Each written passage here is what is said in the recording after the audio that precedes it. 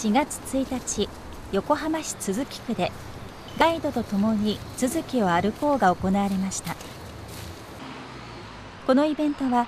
都筑区役所開催の都筑ガイドボランティア養成講座の受講生が中心となって立ち上げた都築をガイドする会が年に数回行っているものです。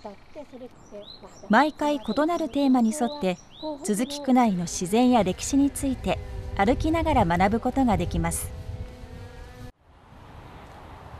この日はおよそ30人が参加。松下情景ゆかりの地と江川せせらぎ緑道の桜と題し堀本地区を中心に6キロほどの道のりをガイドとともに3時間かけて巡ります。参加者たちは徳川家康の家来でかつて織本村を治めていた松下城家一族の墓の跡とされる観音堂をはじめ城家の子孫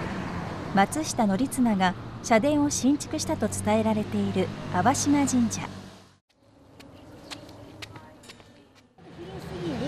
かつての農業用水路を整備し現在は地域の人々の憩いの場となっているほか桜の名所としても知られる江川せせらぎ緑道などを見学しました